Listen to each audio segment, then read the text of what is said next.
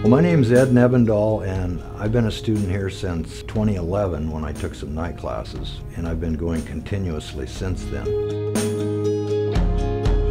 What attracted me to Green River was the fact that they had a program that I was interested in. I'm pursuing a degree in natural resource management and I, I, live within commuting distance so it was just it was an easy shot for me once I had time I could go once I got here and I found out that it was also connected to a large forest which we used as a laboratory, it, it really started making sense as to why the program was here.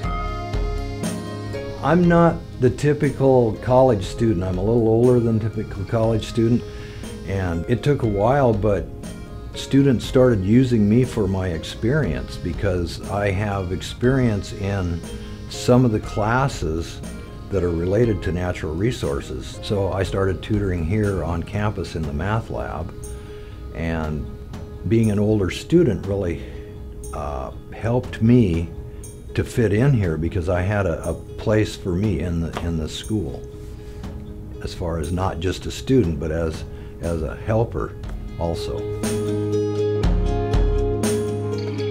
Green River has been a way for me to uh, improve my ability to communicate both writing and speaking and working with people.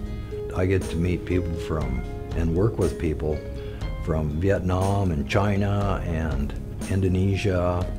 And I have friends. I mean, I walk across campus and hi Ed and hi Maddie and everybody. So it's just, it's really cool.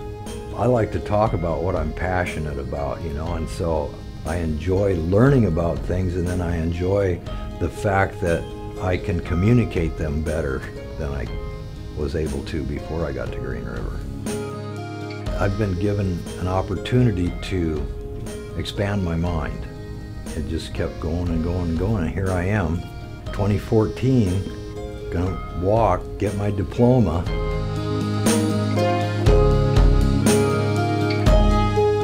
This is my green room.